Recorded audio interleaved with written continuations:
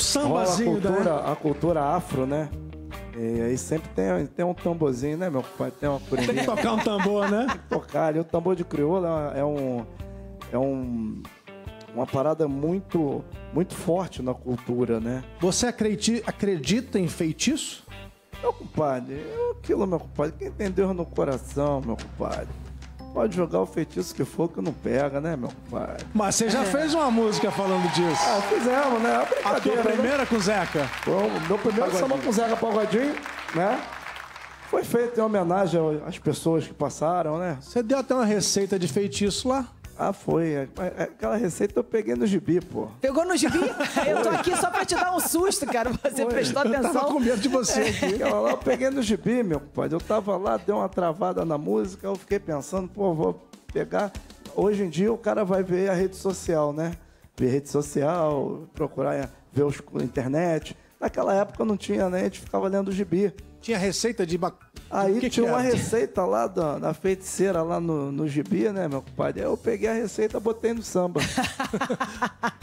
Ô, oh, criatividade o boa. O samba de vocês está no antimatéria que a gente vai chamar agora. Com pois é. sorte. é. Sabe oh, por quê? Beleza. Porque hum. vamos falar de mistérios também de poderes sobrenaturais. Nosso Rodrigo Alvarez mostra como a feitiçaria e a bruxaria foram usadas na história e como esses tipos de magia sempre fascinaram sempre os seres humanos. Sempre fascinaram. É? Não sei se a Mina também se fascina com feitiçaria, porque no mundo da inteligência artificial tem isso, Mina? No meu caso, não é feitiçaria, é tecnologia. Ai, gatinha! Ah. Mas quando se juntam Dudu Nobre e Rodrigo Alvarez, sai de baixo. Antimatéria uh,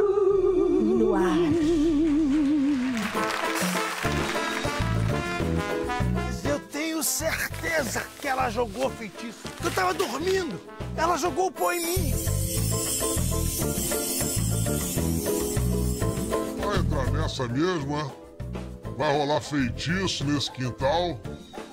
Então é verdade que os feitiços funcionam? Ou isso é coisa da nossa cabeça? Agora, se por acaso eles não existirem, por que é que desde o tempo em que a gente vivia nas cavernas, a gente já acreditava em feitiços? Bruxas não existem! Pero que lá sai, lá sai! Dos xamãs considerados os primeiros sacerdotes da história humana aos druidas de Paris. De objetos ritualísticos de 40 mil anos atrás às mais modernas formas de bruxaria. Passando também por pilantragem, crimes contra as bruxas e mistérios. O Antimatéria hoje vai misturar tudo isso num caldeirão de ideias para a gente refletir juntos sobre essa antiga e fascinante pergunta: será que feitiços funcionam? Definição, feitiços são palavras proferidas com uma fórmula definida com o objetivo de produzir algo mágico.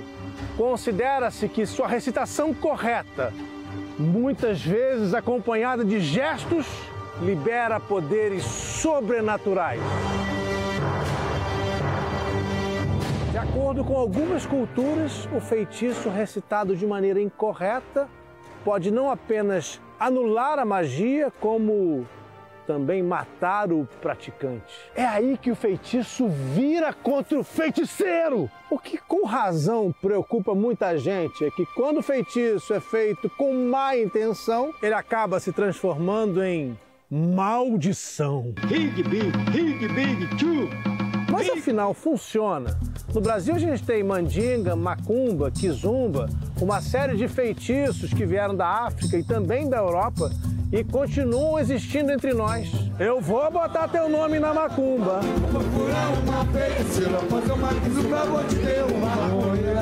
A receita da música está aqui nesse livro. Asa de morcego, caveira de burro, raspa de chifre de bode, pedaço de rabo de jumenta. Tu vai botar fogo pela fenda. Comigo mais brincar. Quando eu era pequeno, meus pais me diziam que se um restaurante não ia bem, depois mudava o dono, continuava não indo bem, ninguém aparecia, era porque tinha caveira de burro enterrada. E sabe o que eu descobri? E essa crença continua.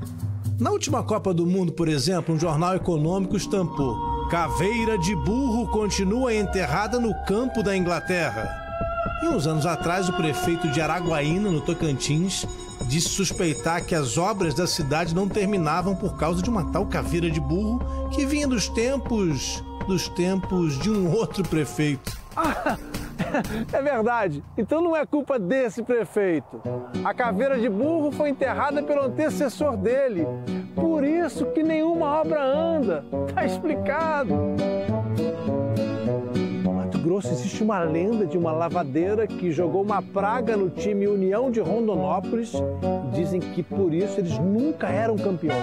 Dizem que a mulher que lavava os uniformes do time resolveu jogar essa praga porque não recebia salário. E aí de repente ela disse: "Se vocês não me pagarem, nunca serão campeões. Levaram até um padre para abençoar o time, mas nada resolvia. Até que 38 anos depois, como que por encanto, ou justamente por causa do fim do encanto, olha só a gritaria que foi quando a praga da lavadeira finalmente acabou. Agora pensa bem, qual é o oposto de amaldiçoar?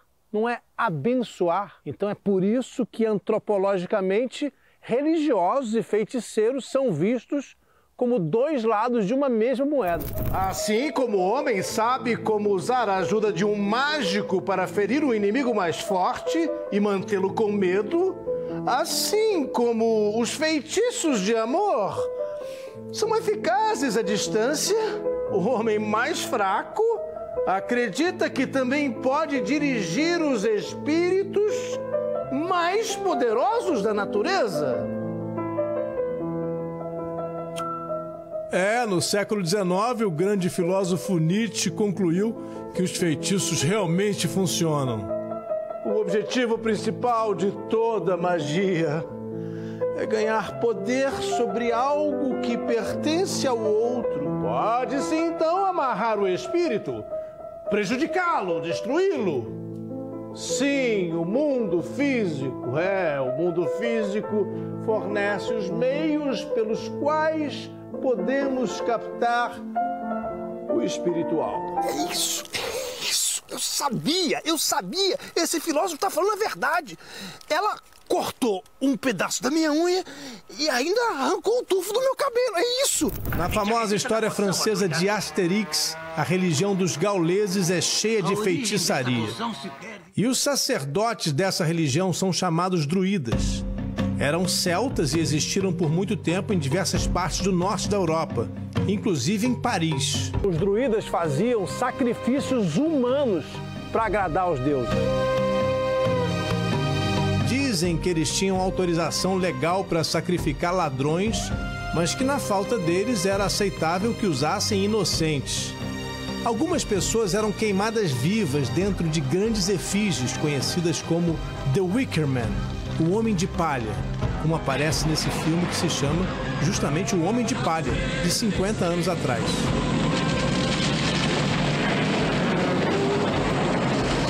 Faz muito tempo, a banda de heavy metal Iron Maiden fez uma música inspirada nesse mesmo ritual. Na versão ficcional dos quadrinhos, os druidas eram criaturas adoráveis, como Panoramix.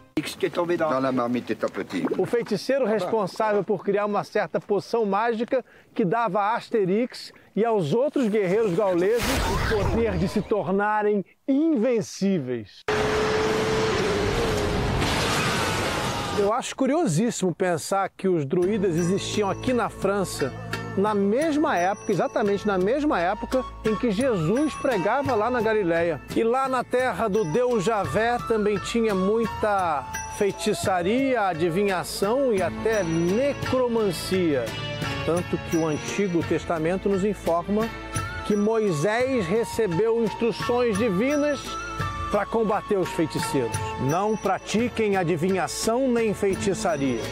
Não permitam que se ache entre vocês alguém que queime em sacrifício o seu filho ou a sua filha e se dedique à magia ou presságios. O Senhor tem repugnância por quem pratica essas coisas.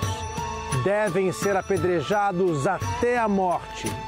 Será que o Antigo Testamento estava falando dos druidas? Alguns historiadores acreditam que sim. É curioso perceber como os sacerdotes judeus condenavam os rituais das outras religiões ao mesmo tempo em que defendiam os sacrifícios e seus próprios rituais. Na Páscoa judaica, por exemplo, era preciso seguir minuciosamente uma certa receita de um ritual. Escolham um cordeiro para cada família. Sacrifiquem-no para celebrar a Páscoa. Molhem um ramo de sopo no sangue que estiver na bacia e passem o sangue na viga superior e nas laterais das portas. Nenhum de vocês poderá sair de casa até o amanhecer. E o livro do Êxodo nos conta que o ritual funcionou, porque naquela primeira Páscoa o próprio Deus matou os inimigos dos judeus.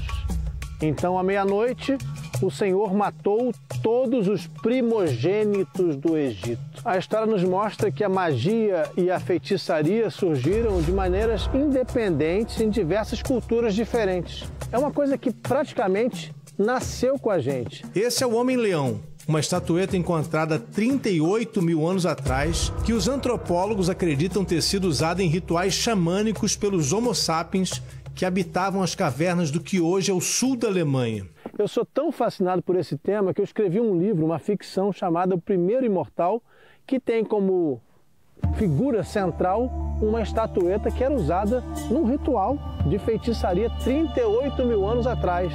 Ah, recentemente eu fui à ilha de Malta e vi umas estatuetas que eram usadas nos templos monolíticos construídos por uma civilização de cerca de 7 mil anos atrás.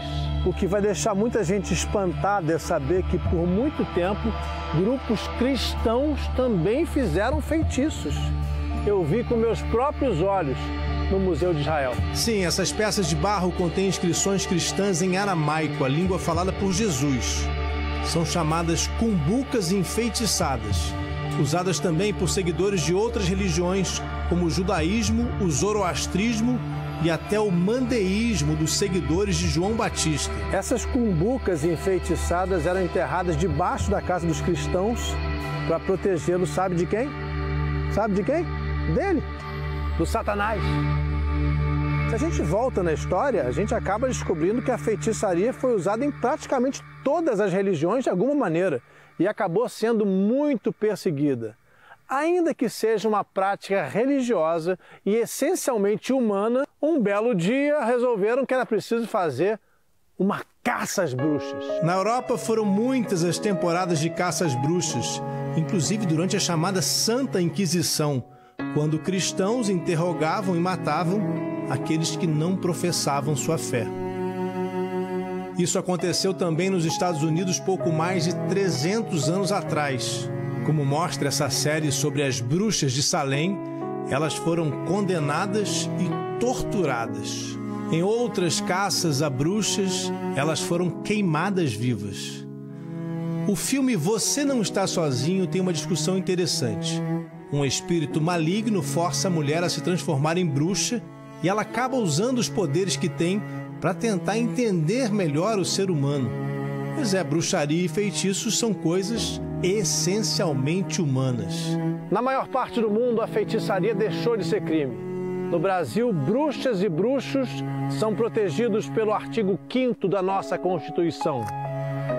É inviolável a liberdade de consciência e de crença, sendo assegurado o livre exercício dos cultos religiosos.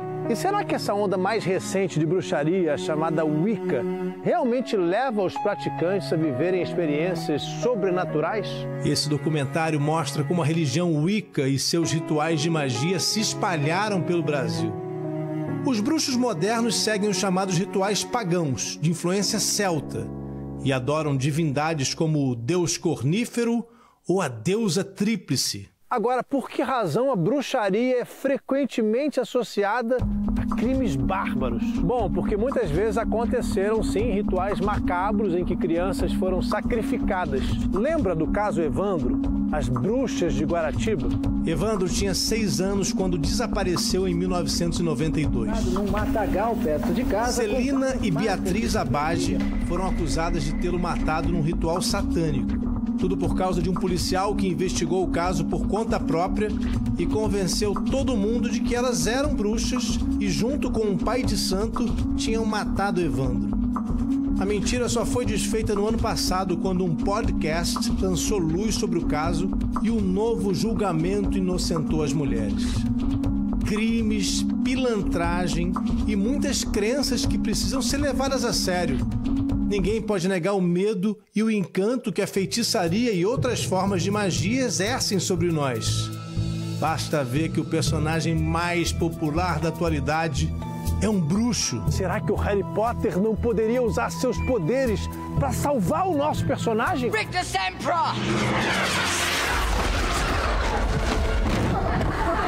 Ah, tô entendendo. Você prefere usar a mandinga do Zeca Pagodinho, né? Então bota a asa de morcego, desencava uma caveira de burro. Esse feitiço vai pegar em você, tu vai ver só.